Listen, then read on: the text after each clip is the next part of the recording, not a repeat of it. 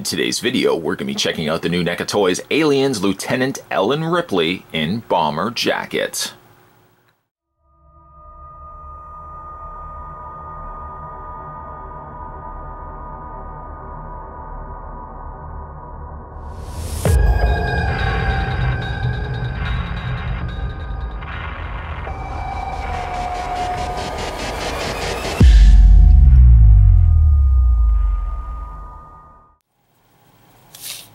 Grabbing the tape measure, Ellen Ripley stands at a just a little over 7 inches in height.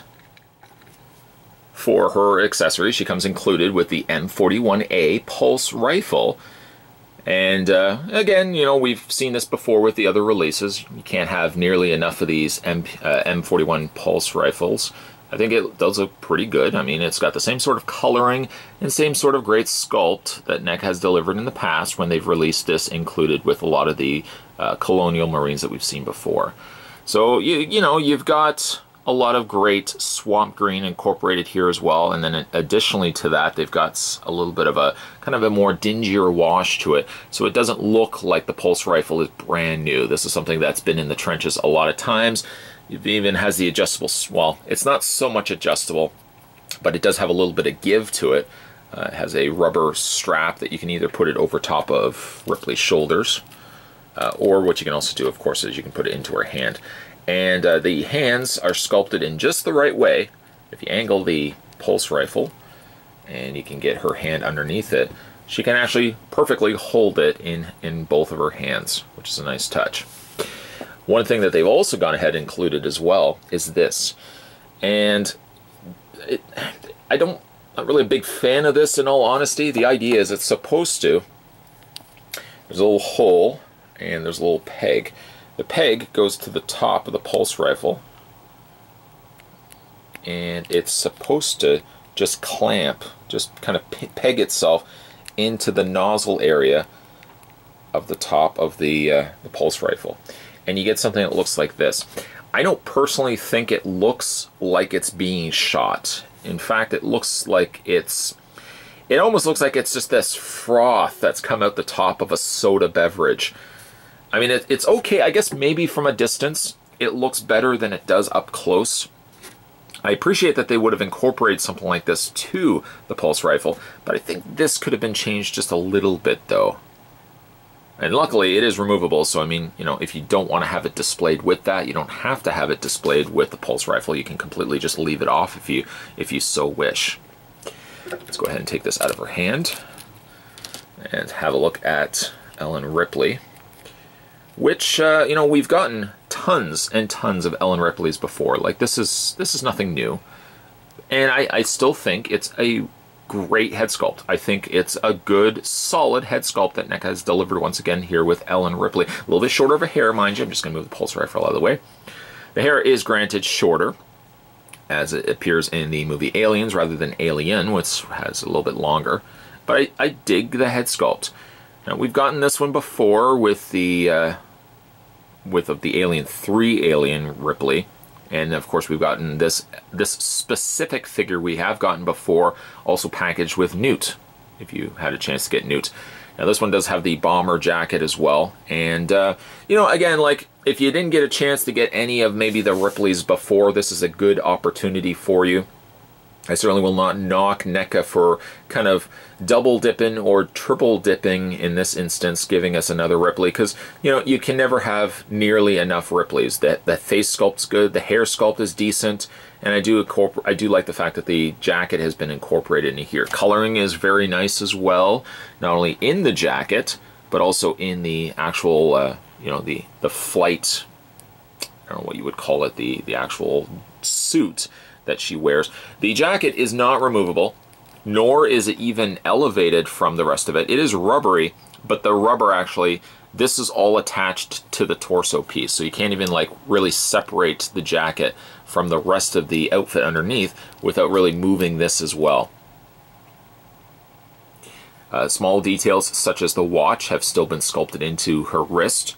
Still, unfortunately, got the classic Sigourney Weaver flat behind. Sigourney Weaver. Even when Sigourney Weaver was young and I dare say, quite attractive back in the day, maybe like Ghostbusters and Alien era. Uh, sadly, she did not have the most defined of buttocks, and unfortunately, this figure does really, really do, does a good job of representing that. But all the little wrinkles and creases and stuff like that are in the pants. You've got little zippers on the, the pant pockets on the sides and also on the top of the thighs.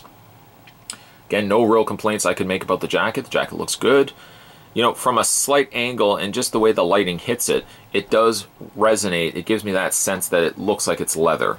And of course it's not, it's just plastic. Uh, that really is the good mark of a figure company when they can incorporate one medium and present it in such a way that it looks like it's made of a different fabric. So good job there. Even like the trim around the sleeves and the bottom of the jacket are done nicely. Yeah, I, I don't know if I would say there's anything I would really change about the figure. Maybe, maybe just one thing, I would throw in a different facial expression.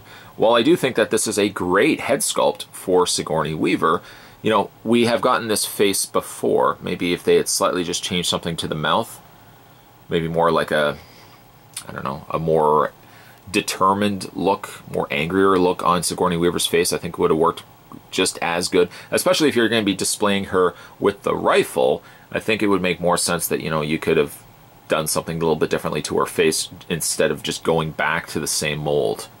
The mold is good, don't get me wrong, but just a different expression from time to time on some of these figures couldn't really make them separate much greater from this figure versus maybe some of the previous figures that we've gotten as well. Posability on Ellen Ripley. Her head is on a ball joint, so it would theoretically rotate all the way around. You really don't want to do this if this was the real person. That would kill her. Head hinges up and down as well. Shoulders hinge outward on universal joints. You got the rotation all the way around. You got the bend in the elbow. Um, rotation in the forearm, but actually the rotation is a separate piece from the part up here. I thought actually the rotation would be here, but instead actually the rotation is right below the hinge of the elbow. She also has the rotations in her hands, slight angled hinges there as well. Uh, she does have a ball joint, and it, it doesn't give you the greatest amount of posability, but it gives you just enough that it, you know, if you want to have her displayed on a slight angle as opposed to just always having the figures straight, it does give you some options there as well. Legs forward and back, you've got the split out. This, like other NECA releases, are is a again that softer plastic, so it does a great job of hiding and concealing the joints, which is something that NECA does very strongly of hiding their joints. Like even in the legs, you can obviously see where the joint would sit, but it, being that they have that little cuff of plastic over top of it, it does a good job of hiding that little the little hinge area. And then you've got the rotation in the leg, and you've got the rotation in the foot, ankle pivot, and a forward and back, up and down.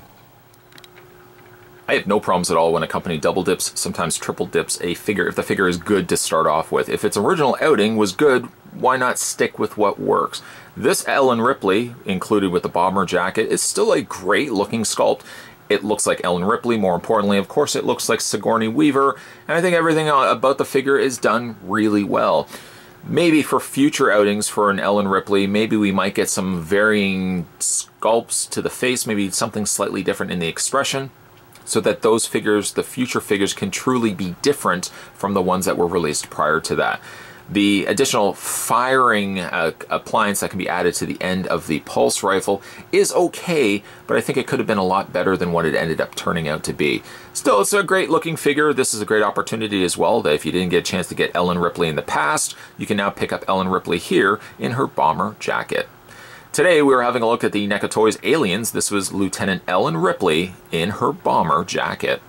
If you guys haven't had a chance yet to subscribe to this channel, make sure you hit that little subscribe button down below. Of course, more videos to follow. And if you want to also check out previous NECA reviews, I've got a playlist on this channel that you can go back and watch at your viewing pleasure as well. As always, thanks for watching. I'll see you next time.